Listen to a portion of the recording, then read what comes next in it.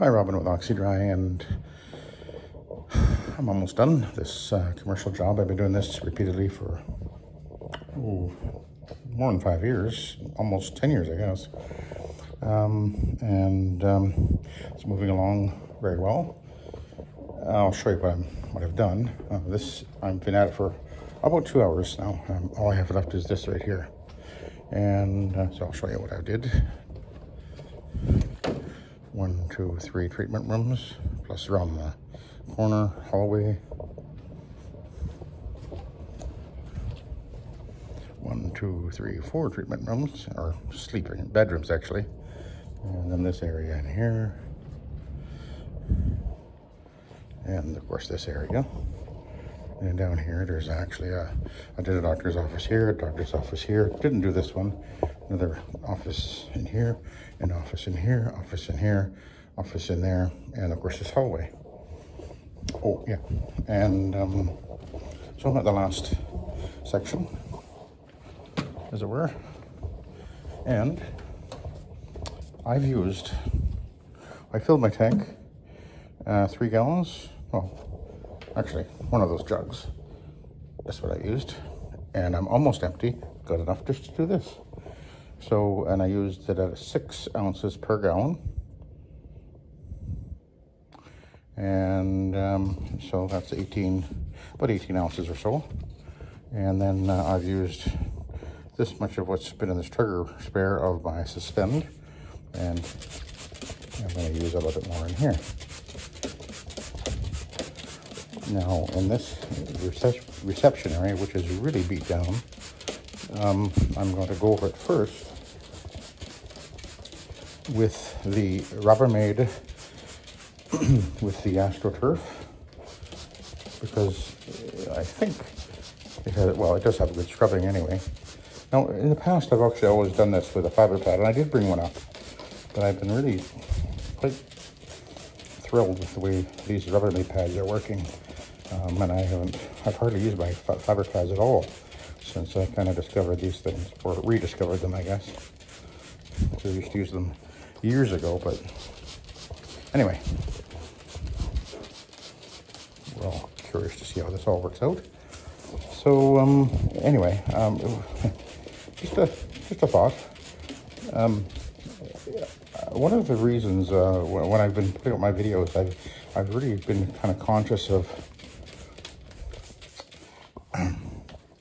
the fact that um, the, a lot of people that watch our videos, for those of you who are posting videos about carpet cleaning, I think one of the things we have to always bear in mind is that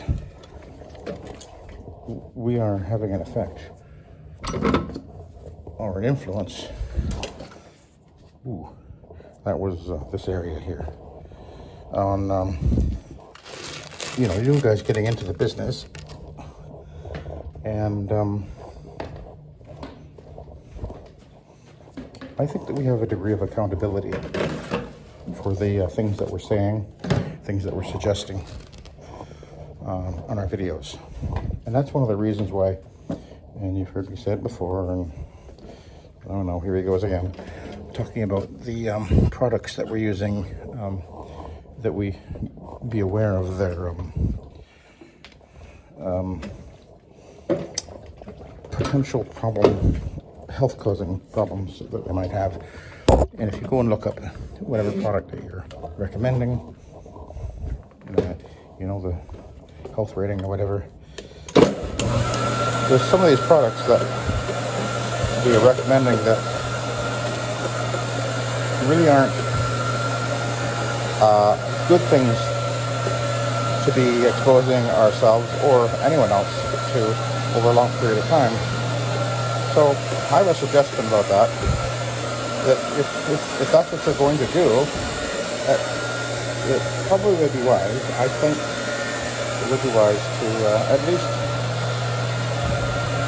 give people a heads up about that. Just let them know that if whatever you use, my, my suggestion is to somebody, if you're looking to use a product, look up the health rating on it, look up the SDS sheet, understand what it is that you're cleaning with and exposing yourself to. because I've been in business long enough that I've known guys that have uh, expired with, uh, you know, what cancer and things like that. Uh, and, you know, back years ago, decades ago, one of the things that was people were exposing themselves to in the business was the carbon tetrachloride uh, solvents, which exceedingly well at removing certain stains. But uh, and, and, guys were using them, using this all over the place, and uh, and unfortunately, it turned out that it was uh, a known carcinogen. And uh, I've known guys. Um, yeah, I'm trying to remember the name of the guy. It's in my mind right now. You know, carpet cleaners in their 40s and 50s that came down with some pretty nasty stuff and, and passed away. And I think that as as we are posting these videos, we need to remember that we're so some of these guys out there that are watching these videos are going to take everything we say as the gospel truth. I'm not saying that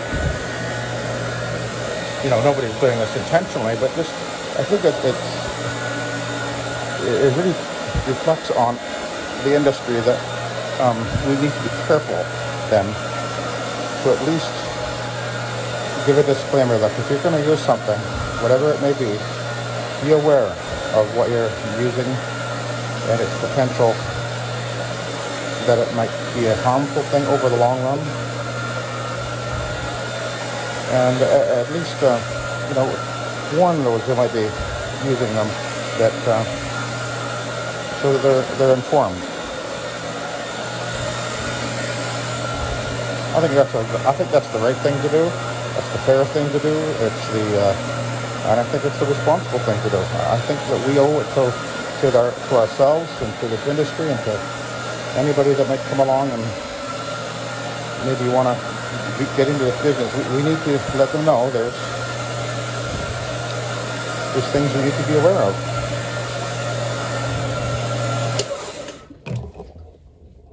That's the right thing to do.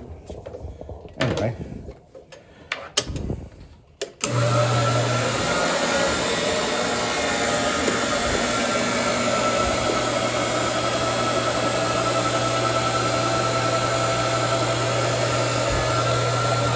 I know. I mean, I'm not saying this because I want to be argumentative or, uh, you know, cause a problem with anybody. I, I, I want to not there not to be a problem. That's that's why I'm doing it. I'm saying it. It's we need to um, always be given the best advice possible, and I think that the best advice is always going to be um, be aware of what is a good thing and what is a less less than a good thing.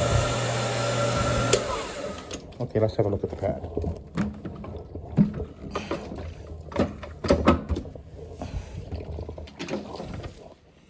It's actually warm. Hmm. So anyway, there's a fair amount of soiling on there. But as I've said, I don't think these have quite the ability to absorb as the uh, 100% rayon ones do. so we're going to go with the rayon one. Rayon polypropylene. And then we'll go over this whole area again.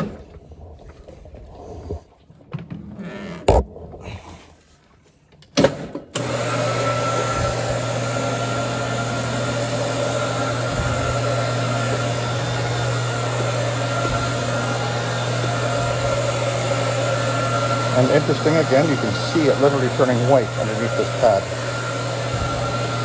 That's interesting.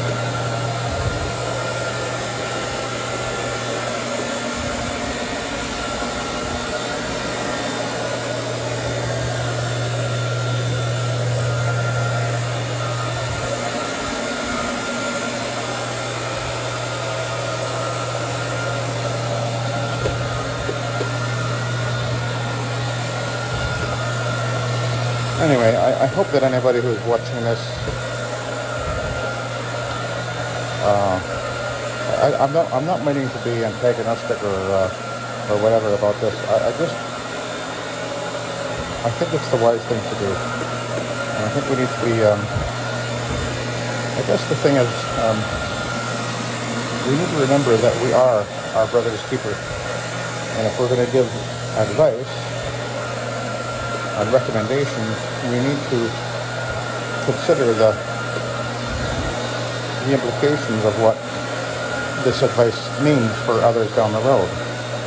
And if we're going to say, go ahead and use such and such and it's got a health rating of three or more, well, at least let people know that. That's what I'm saying. The cleaning product I'm cleaning with right now, the Revive Rocket, has a health rating of zero. And so does the, uh, the Nanomax, which I normally use um, for residential. And, you know, that you can't get better than that. I do that partly because of my own health, but also, for me anyway, this is the kind of cleaning products that my customers generally um, are expecting and I guess demanding even. I have, we have many times that we have people calling up, up and uh, they ask us, you know, what are you cleaning with? Is it safe? What's the health rating? Does it have an odor? Uh, these are the questions that I deal with anyway. And uh, those are good questions. And we can answer that with a completely confidence that, yeah, I'm using the very best, safest that are available. We can do that.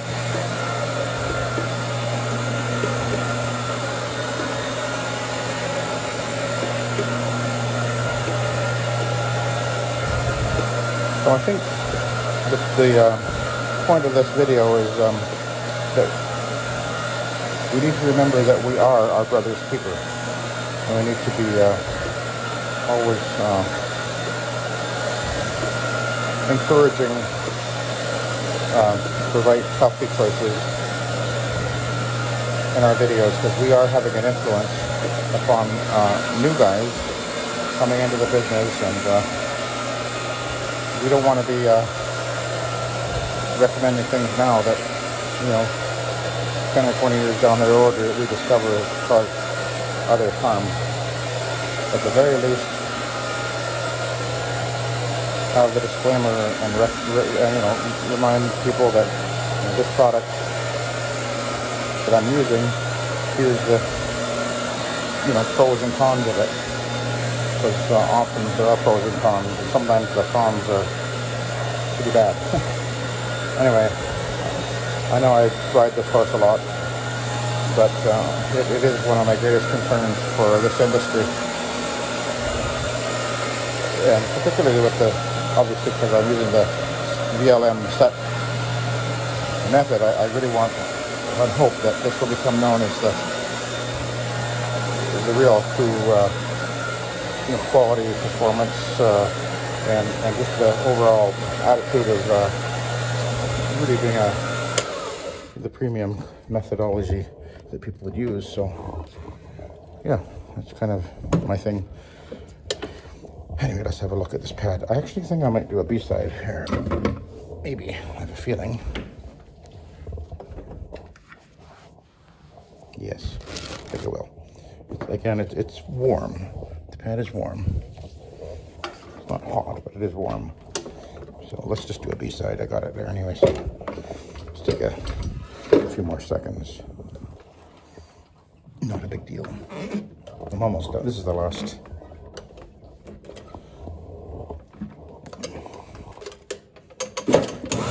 This job took me, it's taken me basically just over two hours.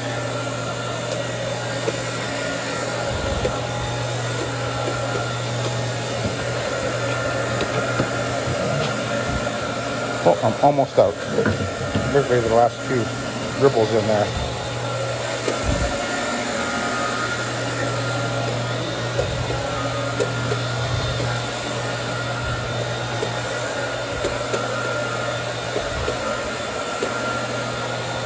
Looking pretty good. When it dries, it's going to look really good. partly because uh, this has peroxide in it. That'll brighten it a little bit.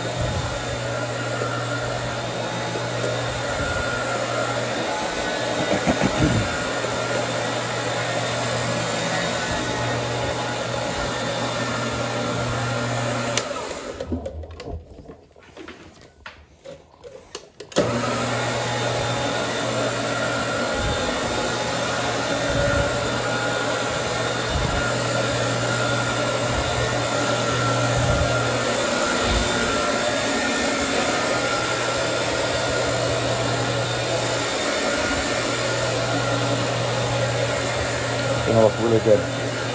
Okay. We'll take a look at the pad again as well.